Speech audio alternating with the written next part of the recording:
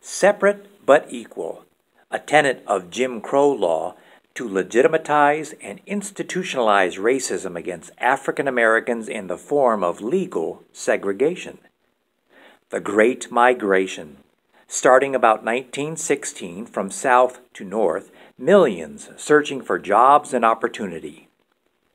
Crispus Attucks High School, opened 1927, Indianapolis, Indiana, specifically to legally segregate African American students, adding to the preponderance of racial separation and discrimination already experienced daily throughout Indiana. Basketball.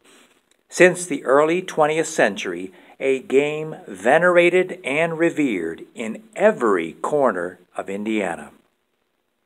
So, with drive, dedication, determination, and perseverance, what were the possibilities in Indianapolis, in Indiana, and beyond?